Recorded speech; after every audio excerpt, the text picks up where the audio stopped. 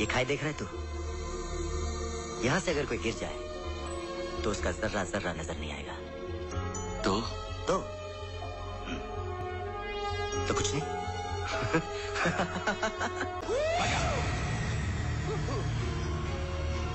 राजा क्या कर रहा तू?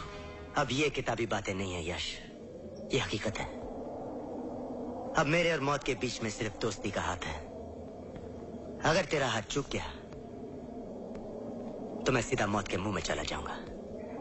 मगर मैं जानता हूँ ये एक दोस्त का हाथ है, जो कभी चूक नहीं सकता। इसे कहते हैं दोस्ती, और इसे कहते हैं भरोसा।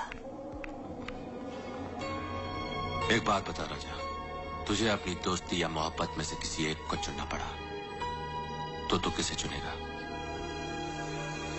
तू अपनी मोहब्बत को चुनेगा ना?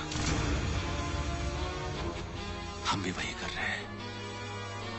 हमारी मोहब्बत रानी है।